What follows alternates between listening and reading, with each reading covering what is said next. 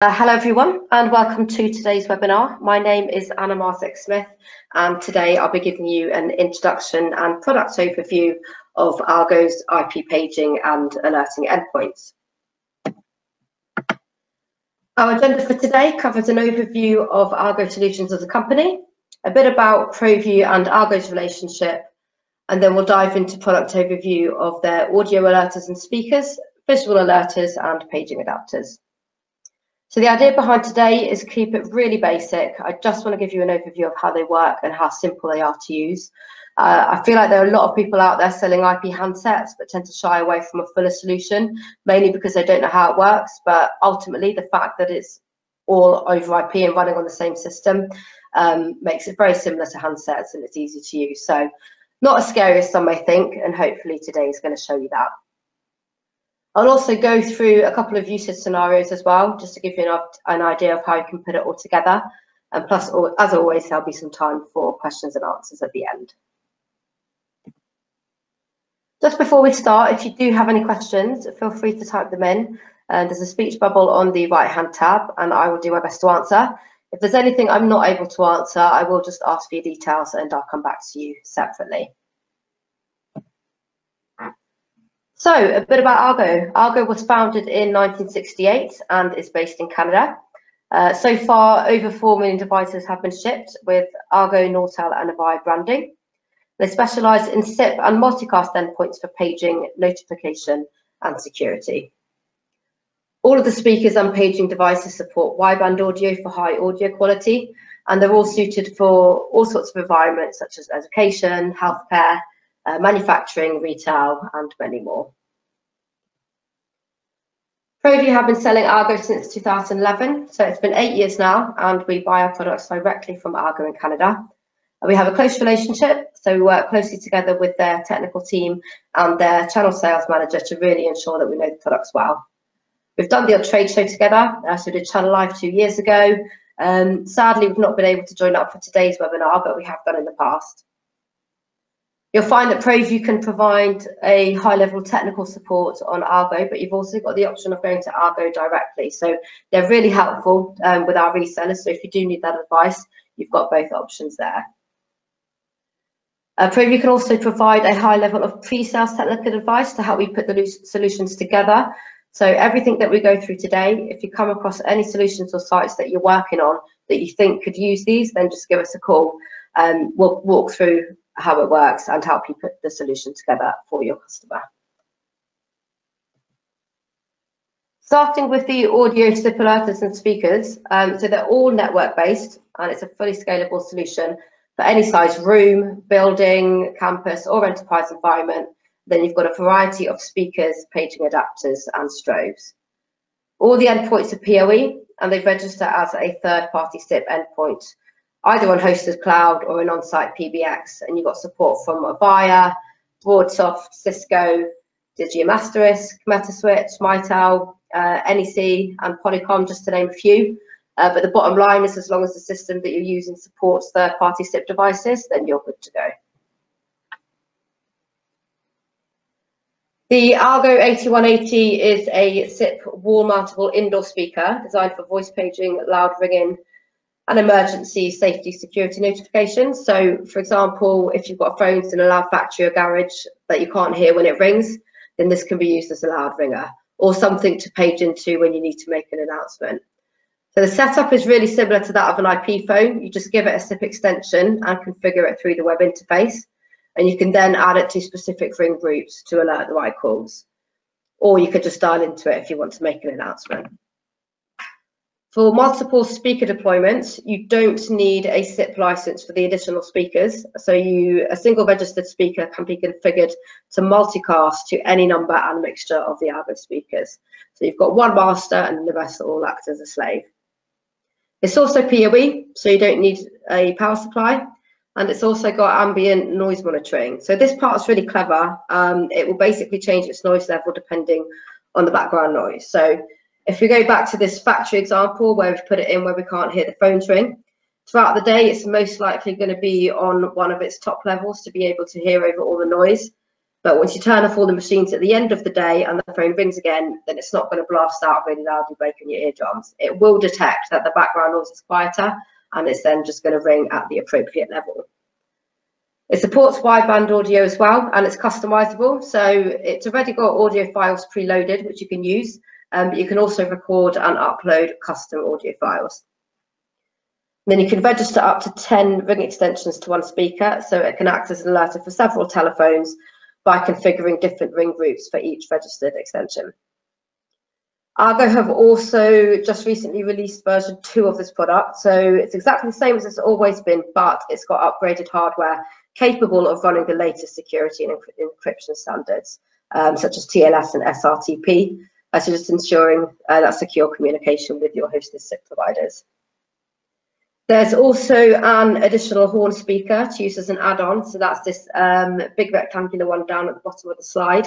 Uh, it's the 1186. Uh, so if you do need the 8180 to be louder, uh, then this works as an add-on additional speaker for that. Moving on, we've got the 8186. So you can almost think of this as the 1186, so the horn speaker we just saw, but with an 8180 built into it. So it's a standalone unit and it's a robust version. So internally, what you can do with it is exactly the same as the 8180, so everything we've just gone through, um, as is the same with all of the other Algo speakers. So it's the same on the inside, just different on the outside, depending on what it's designed for. So this particular one is a horn speaker and specifically designed for outdoor use. So it's IP66 rated, very suitable for all sorts of weather conditions, and it's extra loud, so suitable for high noise environments as well. Just like the 8180, you've got the ambient noise monitor again, so it's not going to blast out really loudly unnecessarily, only when needed. And it also supports multicast, so you can have just one SIP account and then multiple units registered. Here are two ceiling speaker options. So again, just like the 8180, internally but different on the outside. So you'd register your SIP account and then with the support of multicast, you can have multiple units on one system. So these two are for ceilings. So we've got the 8188, which is the circular one at the top of the slide. And this one is specifically designed to be flush mounted. And then the 8189, the one with the square frame at the bottom, that one is designed to be surface mounted. So you've got that bit of flexibility to, depending on what type of building you're working on um, and the abilities that you've got to install. And then again, we've got the wideband audio on these, which makes it easier to hear in noisy environments. So these tend to be quite good um, in schools or supermarkets where you need to be able to be heard over background noise, but you want the system to be tidy and out of the way. So being ceiling mountable, they are discreet and the design is nice enough not to stick out.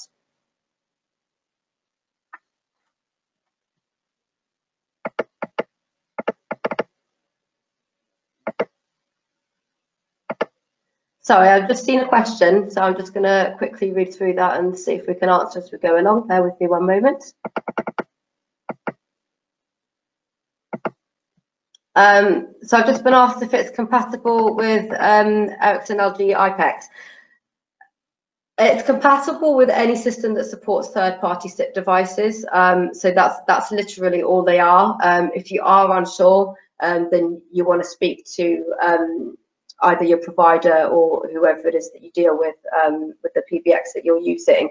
Um, you can always test a unit from us, but really you want to just make sure that they support third-party SIP devices.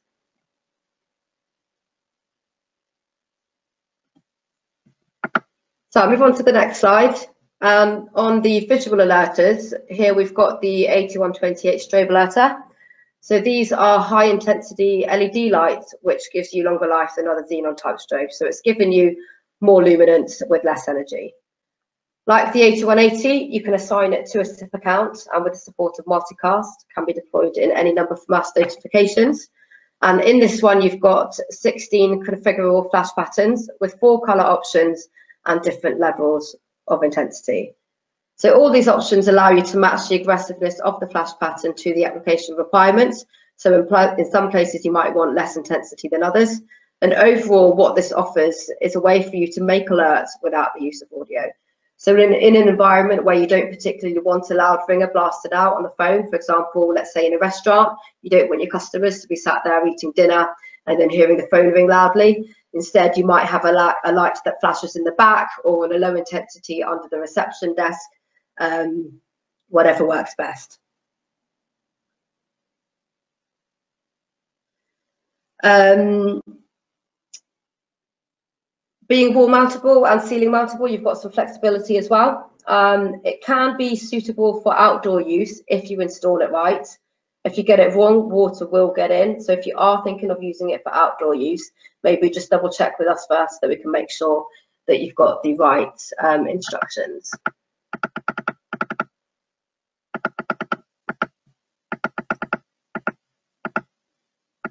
So I've just had a question asking, um, can we add several different Algo endpoints, including the visual alerters, to a single multicast, um, so the third party endpoints um, license for all up to 10? The answer is yes. Um, so you've got, as long as you've got one that's registered to a SIP account, um, the rest can just configure to that. So you, and it, they don't have to all be the same. So you can have a mixture of 8180s, the strobe alerters, um, the outdoor 8186 paging horn, um, and yes, you can you can you can have up to 10.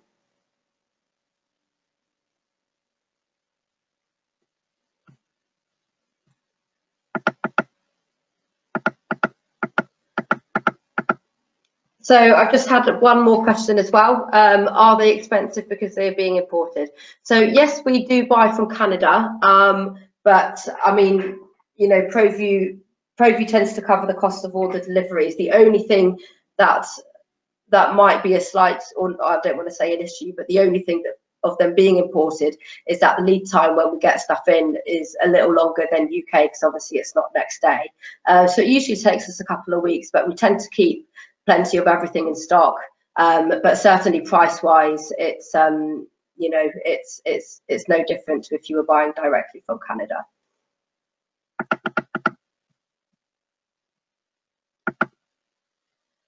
So moving on to paging adapters. Um, before I go through the two units, um, just a few things. So most remember is that it's scalable from one to many and they're easy to deploy. And then it's flexible You've got flexible zoning down to the individual speakers and it's easy to configure. And then being easy to configure means that it's also easy to reconfigure, so you don't have to go down to site to make any changes. So just like with your IP handsets, you just access it remotely via the web interface.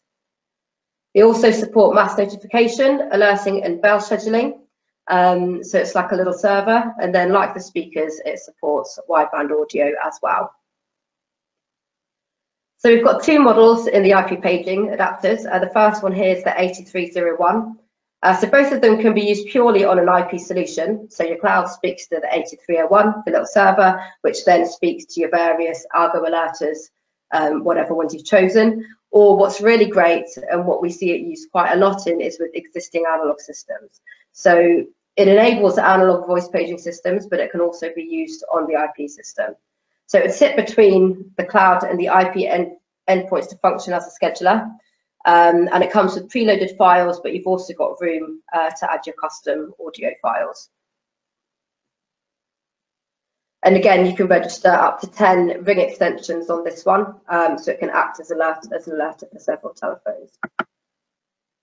The 8373 is very similar, um, just with added extra feature. So it enables zoned voice paging this one. Um, so both of them are SIP endpoints that can interface to a traditional audio amplifier and set of speakers. But if you want to be able to have more than one set of speakers and still using just one amplifier, then this is where you can use the 8373. So it allows you to um, connect up to three sets of speakers via one amp. You can also connect both existing analog paging system to the IP platform PBX, but then also in conjunction with that, you can add additional IP speakers that are speaking directly to the platform of PBX. So you don't have to just stick with one or the other. If your customer's already got an analog system, great. Keep the amplifiers and speakers, ditch everything else and just stick the 8301 in or the 8373 paging adapter. And then if you want to expand in the future, you can do that with all the different options we've just gone through. So just to give you a bit more detail of how it works with the um, existing analog system, and hopefully this diagram will help a little bit. Um, so with the traditional analog paging, you got all sorts of components to it. So you've got a central integrated central amplifier, a dedicated amp, a paging amp, you've got your staging trunks, power supplies, all sorts of little bits of hardware, and it's quite complicated. And as we all know, the more complicated something is, the more things can go wrong. So if you do want to connect to the existing analog system via IP, then you've got two options. You can either go for this top option here, which is what a lot of people do, and that is to just stick an ATA in. So, I mean, that's okay, like it does a job, it works fine, but it still requires you to use the bulk of the setup. Whereas if you go with the um, Algo paging solution, you could just pop in an 8301 between the clouds and the amplifier, and away you go. So none of the other messy bits are needed. This does the full job and it acts as its own little server. So benefits of IP paging and alerting. It's important these days to have a critical safety and security function. So you want something that has as few moving parts as possible, as we just looked at. Um, so these products are secure. It's not easy to get into a hack to without doing a lot of work and giving you that secure functionality. You know, it's not like your traditional couple of bell wires that someone can just come and clip and stop them from working entirely. It's now a common infrastructure. Um, because uh, you're already using your voice and data and security network, you've just added then paging to it. And if you want to extend, you just run some Cat5 cables, plug it in and set it up via the web interface. You're not having to go and find out where the main wires come in, remove ceiling tiles, you know, potentially run wires from one ceiling to another. Um, and as we looked at before, it's really easy to configure and change remotely. So you could, for example, pop online to web interface and say, well, actually, I want this speaker to now um, ring on this ring group instead of that one, or I want it to play this ringtone instead of that one. Um, it's all done remotely and it's really easy to do.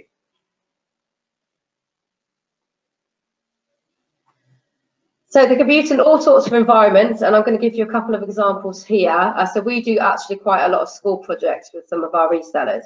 Um, so in a school, for example, you might want 8180 speakers in all the classrooms as you don't need something too loud. And then you could use the 8301 to schedule the announcements, for example, when it's time to change to the next lesson and when it's lunchtime. And then you probably have the same in the halls. Um, probably won't need the additional horn, so I'd probably say go for the 8180. Um, and then if we look at the canteen, because obviously it's a bit louder in there, you'll probably want the 8180 um, along with that additional speaker just to make it a bit louder. Then in your playgrounds and your sports fields, you probably have the 8186, um, the outdoor horn speaker, uh, this IP66 rated. Um, so again, they can hear all the scheduled announcements. And then if at any point an emergency announcement needs to be made, so something that's not already scheduled, then the school receptionist or headmaster can just dial into the ring group from their IP phone and make the announcement. Also really suitable for retail. Um, so in a closed shop, for example, quite often they'll have music playing. Um, so you'd probably have the 8188 uh, ceiling speakers just to keep it tidy. Um, you wouldn't have as many announcements in a shop like this like you would in a school. Uh, you may just have one at the end of the day uh, to give a 15 minute warning um, when the shop is closing. Um, and then again, if they want to make an emergency announcement, um, they can just do so by dialing in um, via the um, via their IP phone.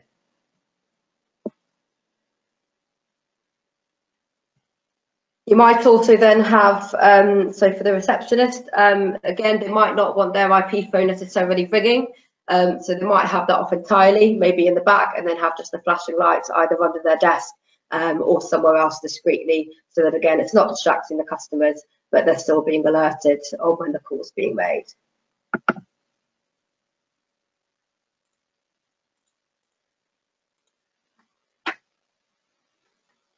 Um, I've just been asked what is the warranty on the devices. Um, so the warranty is one year. Um, ProVu do a lot of work with Algo, so if you ever do have any issues, uh, then obviously you can come to either a ProVu or Algo directly. Um, but it is one year that it comes with. But I'll, I'll, be really honest with you, we have so few returns on the Algo products, um, so I think generally you're okay. Right, I'm going to give you one more example. So, and this is actually how we use it at ProVu. So ours sits in our warehouse. Um, this isn't a picture of our warehouse. Ours looks very similar. It's almost as big as that. Um, but ours, ours is in the warehouse not for when the IP phones ring because they can actually hear those fine. Um, but we have it there for when the doorbell rings. Um, so on our intercom on the outside, we've got two buttons, one to ring the general office, you know, so just for normal visitors, maybe someone's coming in for a meeting. Um, and when that one rings, it rings all the IP phones upstairs in the main office. But then if the person at the other end of the door selects deliveries, it will ring the IP phones downstairs in the warehouse, but also the Algo and 8180 will ring at the same time with a loud sort of ding dong sound so that they know that the doorbell is ringing rather than just a call coming in on their phone. Uh, so they're going to get to it quickly, answer it, and when they answer it, they're speaking via the IP phone to the intercom, but the whole conversation is being broadcasted through the 8180, so other members in the warehouse can hear exactly what's being said. So if we've got this guy at the door saying, I've got 15 pallets, where do you want them? What do I need to do? Uh, whilst that's all going on, the other guys can hear this and they start getting the shutters open and other necessary equipment to take the delivery. So because the whole warehouse has heard what's going on, there's no need for information to be repeated or passed on. They just get on with it. And then likewise, if we ever need to speak to the warehouse over the speaker, which for us internally, it's rare because we tend to use it as messaging. Um, but when we have done in the past, even I've done it, I've just dialed in from my IP phone on my desk um, and, and just broadcasted over the 8180. So hopefully this has shown you um, that they are quite easy to use um, and hopefully today has given you a bit more of an insight of how it all works. I really want to stress how important it is that you give us a call if you think you may have an opportunity for something like this but you're not quite sure. Um, like I said before, we can talk you through it and we'll help you from start to finish. You send us your site plans, tell us exactly where it is, um, you know, what they're looking for, and we can help you put the whole solution together. We've also got the ability to pre-provision um, and we can offer remote configuration support. So, you know, if you've agreed a time with us when you're there doing your install, we can be there on the other line to help you get everything configured. Um, uh, so yeah, if you're still thinking like it's a bit too much, just just let us help you. And you know, it's the same as the phones. Once you understand it, that's it, and you'll be wondering why you've waited so long to get into it. or hopefully, anyway. Uh, but if you do have any more questions, obviously we've answered a few already, um, but please feel free to ask now and I'll do my best to answer. Um, if you can't think of anything now, but something does pop up later, don't shy away, do get in contact. Our email address is contact at provu.co.uk and our telephone number is there, it's 01484 840 or feel free to get in touch directly. If you want to speak to me, it's just anna at provu.co.uk.